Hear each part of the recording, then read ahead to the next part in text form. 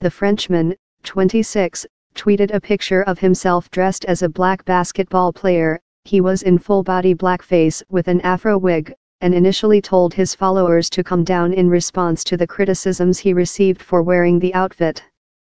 Griezmann, who has been linked with moves to Barcelona and Manchester United, later deleted the original post and the message which had said, Clam down everyone. I'm a fan of the Harlem Globetrotters and this is a tribute. In his third tweet of the evening, the footballer apologized by saying, I recognize that it was insensitive on my part. If I have offended some people I apologize. The forward was top scorer at Euro 2016, helping France to the final where they lost to Portugal in Paris, and came third in that year's Ballon d'Or Player of the Year award. Among those who criticized the player was English politician David Lammy, Member of Parliament for Tottenham, who also made reference to a blackface darts fan who dressed as Labour politician Diane Abbott during the PDC World Darts Championship in London.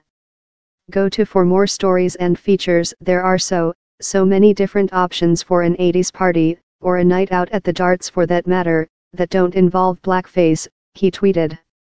I can't believe we're out here in 2017 saying don't dress up in blackface.